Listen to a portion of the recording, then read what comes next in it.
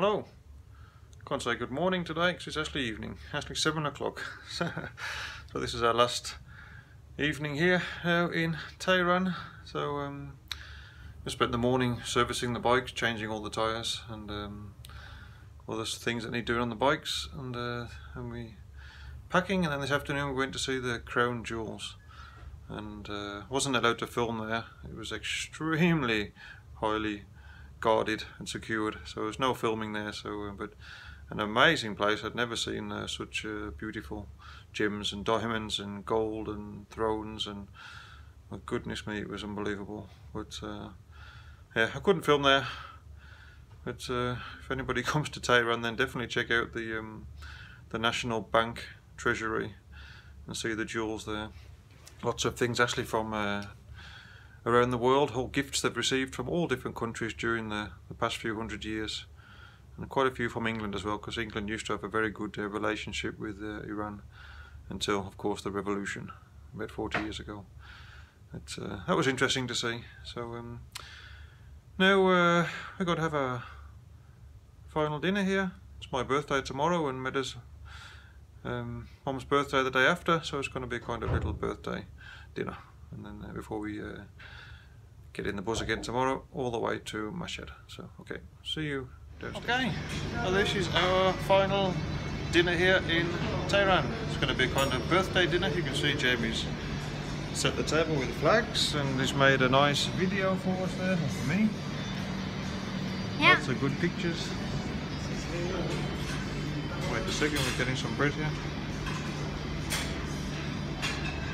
So it's my birthday tomorrow, Lene's birthday day after. She'll be in Denmark then. Yes, I hope so. so, so that was it here from Tehran. Did everybody enjoy Iran? Yeah, yes. Was it what you expected? More than more positive. Did you see enough sights? Yes. Yes. it's very beautiful Iran. So What was the best thing you saw? Hmm. The people Yes, is so friendly. yeah, the people. So nice. Yeah. My favorite town are Isfahan. Yeah, Yeah, mine yeah, too. Yeah. I think we will all say that. We like Isfahan. Yeah. So that was really good. We're all worn out now. We've seen a lot of things now. We are happy that we could visit you here in Iran and we've been together with you for 11 days. We have enjoyed it very much. And we have, and we have enjoyed it as well.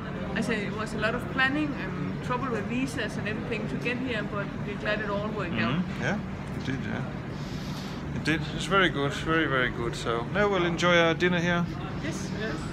The hotel sold out of beer, so Per's not too happy. But, uh, apart from that, everything's okay. So. We have empty hotels from wine and beer.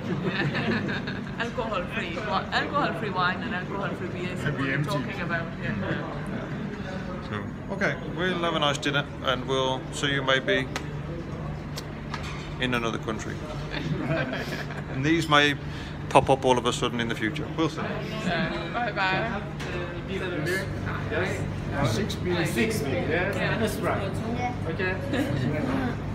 Okay, the way to save the day is going to the shop to buy beer. Are you happy, Per? the Danish people can stop shaking. Has a present. What is it? Okay.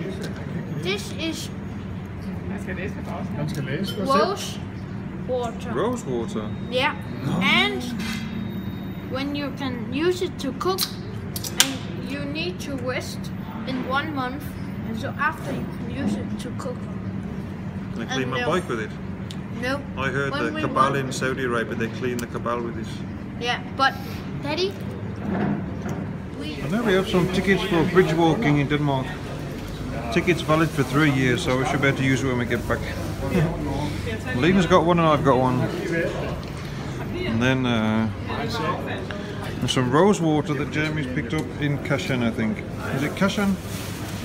actually it was Said's friend that it, but now Said have given me the water.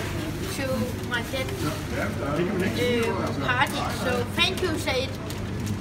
Um, thank you lots of times. Yeah. So this is rose water. We can put this in our food when we're cooking. This is what they made in Kashan.